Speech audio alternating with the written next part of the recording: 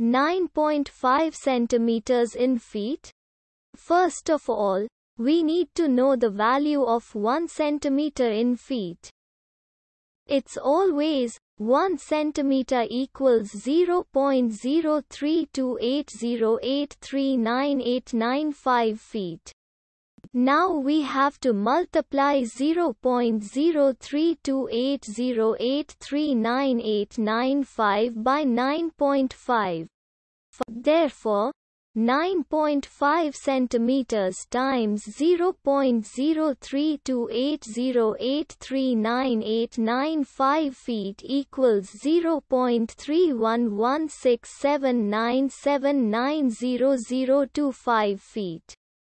So, in other words, 9.5 centimeters equals 0.311679790025 feet. We hope you have enjoyed this video. Please like and subscribe to our channel for more videos like this.